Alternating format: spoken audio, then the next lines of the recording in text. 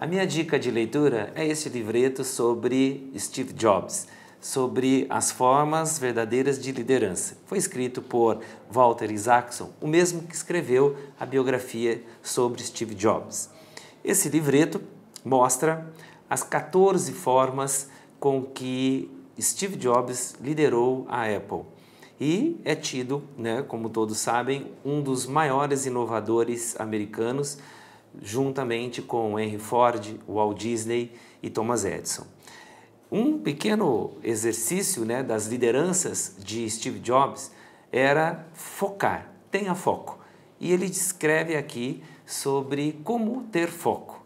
Uma dica muito simples: elimine todas as dificuldades possíveis à sua frente que o tire né, dos objetivos que você tem para a sua vida, para os seus negócios.